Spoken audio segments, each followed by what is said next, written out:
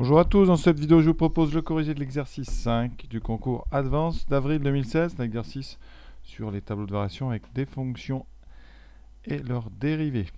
Je vous rappelle, il faut déterminer si les propositions A, B, C et D, E sont vraies ou fausses. Donc on est parti.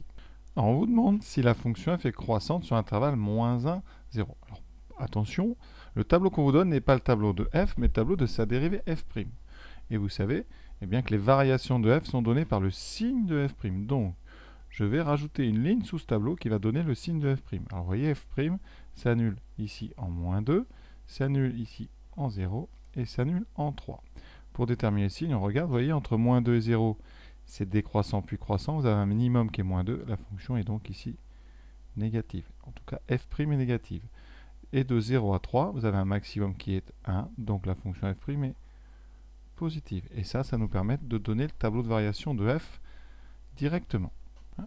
Entre moins 2 et 0, f' est négative, la fonction f est donc décroissante. Elle est même strictement décroissante puisque la dérivée ne s'annule que deux fois ici sur l'intervalle fermé, moins 2, 0, et idem sur 0, 3. La dérivée est positive et s'annule deux fois, la fonction f est strictement croissante. Donc, on va pouvoir répondre à la première question. Est-ce que f est croissante sur moins 1, 0 alors comme moins 1, vous voyez, c'est ici entre moins 2 et 0, elle est bien, d'après notre tableau, décroissante. Donc la réponse A est fausse. Réponse B, proposition B. Est-ce que f est croissante sur 1, 3 Alors 1, c'est ici, entre 0 et 3. D'après notre tableau, f est bien croissante, donc c'est vrai. Maintenant, est-ce que f de x est supérieur ou égal à 1 sur 0, 3 Chose qu'on ne sait pas dans le tableau, c'est la valeur ici au niveau de 0. Mais on n'a pas, pas utilisé, on n'a pas lu tout le texte f de 0 égale 1. C'est ici que ça prend tout son intérêt. Ici, vous avez donc une fonction f qui est décroissante croissante. Elle a donc pour minimum 1. Conséquence sur l'intervalle 0,3 où elle est croissante. Le minimum est bien atteint en 0. Donc f de x est supérieur ou égal à 1. Ceci est vrai. Proposition D, alors on prend deux nombres x et x' avec x strictement plus petit que x', donc x est différent d'x'. On est sur intervalle, attention, ouvert, moins 2, 0. Et on vous demande, voilà, est-ce que si x est plus petit que x', est-ce que ça implique eh bien, que l'image de x' est plus petite que l'image de f? Si vous remarquez, si on remet ça dans l'ordre, ça veut dire que f de x est plus grand que f de x'.